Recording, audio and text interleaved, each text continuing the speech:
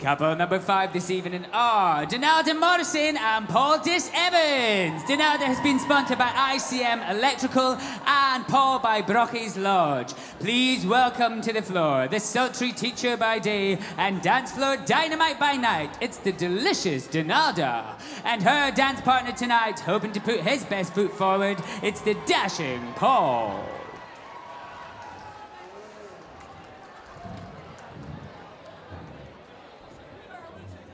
Just stay there. Someone has forgot to set your prop. I shall do that.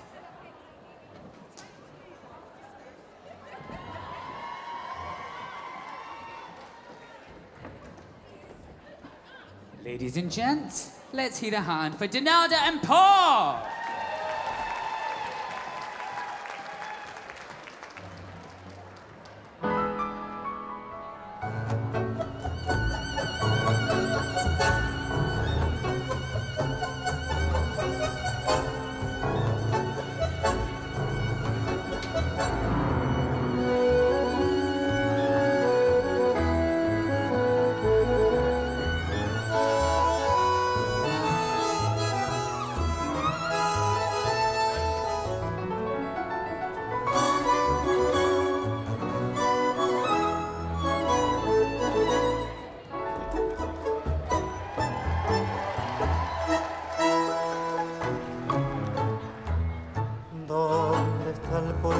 Mis ansias y mi fe?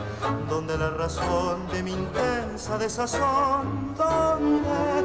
Si no en tus sueños que me alientan tanto, sino en tus labios que al besar mis labios me dan la fuerza de luchar por ti. ¿Quién le dio a mi voz el acento de tu voz? ¿Quién llenó de luz largas horas de ansiedad?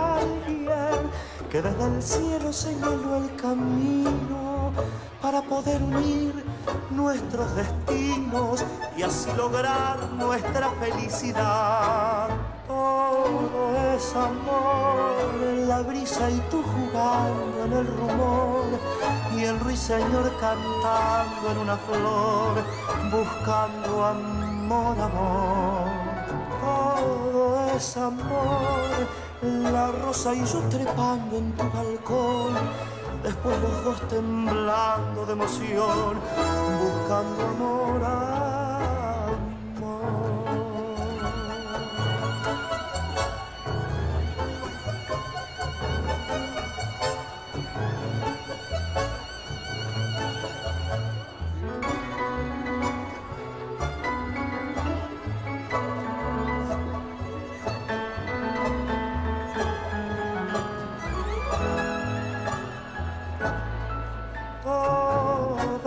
La rosa y yo trepando en tu balcón.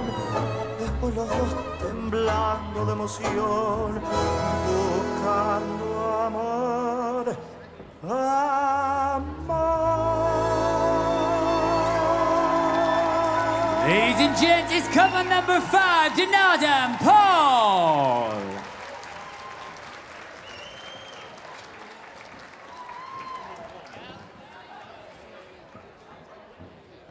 Now, Donalda, you kept your Strictly Experience application a secret, didn't you? Yes, you did. What did your family and friends make of it when you finally announced that you've been accepted to compete in Strictly?